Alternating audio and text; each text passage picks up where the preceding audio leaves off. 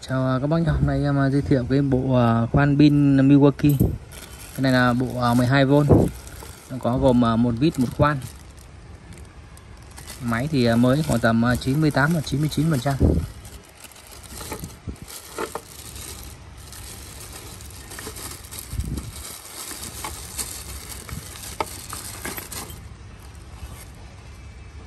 Cái khoan của nó này.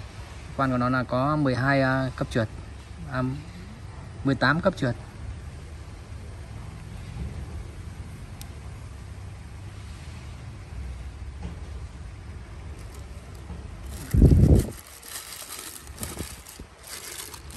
Đây là cây uh, vít.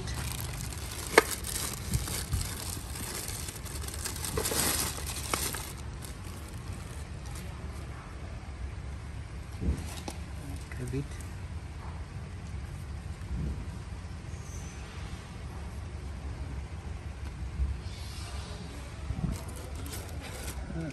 Cái này là gồm à, một à, hai pin. Hai pin hai máy một sạc. Pin của nó này là 1.5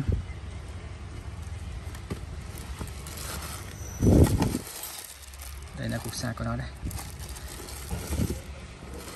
Cái này nó các bác nào mình làm những cái à, đồ nhỏ gọn ấy thì rất là tốt rất là phù hợp.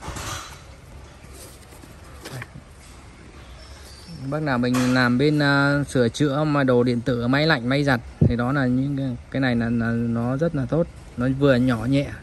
Mưu này thì nó rất là mạnh nó 12V thôi nhưng mà nó rất là mạnh rất là khỏe. Cái này mở mấy cái uh, khoan vít.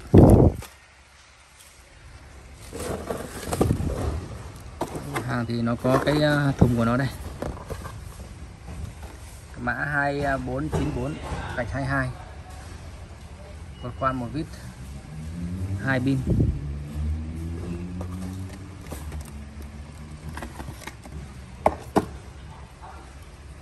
Bác nào ờ, tín đồ của Mưu thì ờ, cứ vui lòng liên hệ em nhé.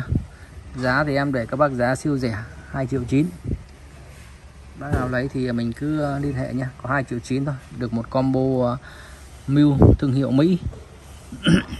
Không phải thương hiệu nữa mà là chính của Mỹ về luôn. Điện sạc của nó là điện là 120V điện Mỹ 120V giá cực kỳ rẻ có 1 triệu 2 triệu 9 thôi. Vào giá thị trường cho các bác luôn các bác cứ tham khảo nha đây là cái um, mã máy thì nó có mã đàng hoàng đây thông số kỹ thuật thì các bác cứ vào đấy xem.